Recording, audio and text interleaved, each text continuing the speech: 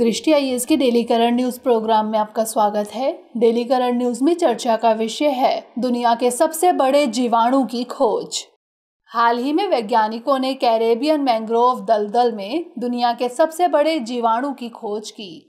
यह जीवाणु कैरेबियन द्वीप समूह के ग्वाडेलोपे मैंग्रोव में पाया गया। इस जीवाणु को थियो मार्गारीटा मैग्निफिका नाम दिया गया है। अधिकांशतः जीवाणु सूक्ष्म होते हैं, लेकिन यह इतना बड़ा है कि इसे नग्न आँखों से भी देखा जा सकता है। इस जीवाणु की औसतन लंबाई एक इंच के एक तिहाई भाग के बराबर पाई गई। अध्ययन के मुताबिक टी मैग्निफिका दो सेंटीमीटर तक लंबा हो सकता है। इसमें झिल्लियों का नेटवर्क है जो ऊर्जा का उत्पादन कर सकते हैं। इसका डीएनए टी मैग्निफिका कोशिका के भीतर छोटे झिल्ली नुमा अंगकों में होता है, जिसे पैपिन कहते हैं।